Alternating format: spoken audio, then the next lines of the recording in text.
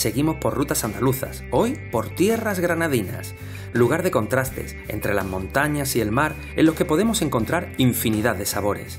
Vamos a pararnos en la localidad de Ventas de Zafarraya, en la provincia de Granada, para disfrutar de las mejores verduras de temporada. Nuestras aliadas de hoy en la cocina serán las alcachofas y las judías verdes. Acompañadnos al campo para comprobar cómo los buenos cultivos del llano de Zafarraya nos alegran la mesa. Por eso hemos quedado con José para visitar su campo. Aquí estamos en nuestro campo de alcachofas, que estamos recolectando ya en plena recolección. Estamos recolectando la, alcachofa, la, variedad Lorca, que es la que se da en este tiempo, que es un ciclo de mayo, junio hasta noviembre, que empieza ya la helada. La es la mejor variedad que hay ahora por la carne, por la dureza que tiene, por, por el tamaño y es un sabor que es estupendo. Es una alcachofa que ahora mismo no hay otra igual en toda España entera, me atrevería a decir, incluso en parte de Europa, por el clima que tenemos, por las temperaturas que hay aquí en el llano de. La alcachofa de verano es una auténtica joya gastronómica. Cargada de sabor, de gran tamaño y fina al paladar, constituye un elemento esencial en las mesas. Pero queremos ver ahora las judías verdes, que también están en temporada Vamos al campo, que nos espera Manolo. Soy técnico de la cooperativa Sahorto Venta y agricultor en la zona del campo de Zafarraya y estamos en medio de un cultivo de, judía del tipo herda en el momento óptimo de recolección.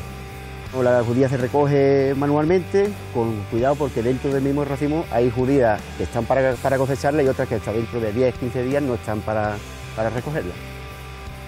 Esta, por ejemplo, serían judías en el grado óptimo de, recolección, tiene, no tienen fibra, no tienen la pipa señalada, tiene bastante carne, es una judía bastante jugosa y, de buen sabor. Estas concretamente están cultivadas aquí en el campo de Zafaraya, que tiene la peculiaridad que las temperaturas no oscilan demasiado entre demasiado calor, no, solemos pasar de 30 grados, 35 cuando más.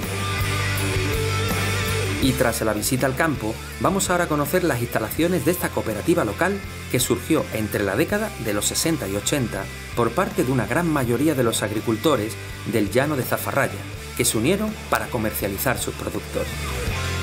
Bueno, pues nos encontramos en una de las naves de la cooperativa Artoventa. Aquí es donde van llegando los productos, los diferentes productos del campo, una vez que son recolectados, y lo primero que se hace al llegar aquí es seleccionarlos, por calibre, por tamaño y envasarlo en los diferentes envases que nos piden los clientes, sobre todo supermercados de la zona y grandes superficies. Aquí estamos produciendo de judía, lo que es de judía, unos 7 millones de kilos al año, en lo que es la temporada, y de alcachofa unos 3 millones de kilos. El llano de Zafarraya, por su especial configuración topográfica, su altitud y su microclima, es un lugar perfecto para los cultivos hortícolas. Poder disfrutar de ellos y de la buena gente ha sido sinceramente estupendo. No nos cansaremos de decirlo, el gran valor de Andalucía está en su gente.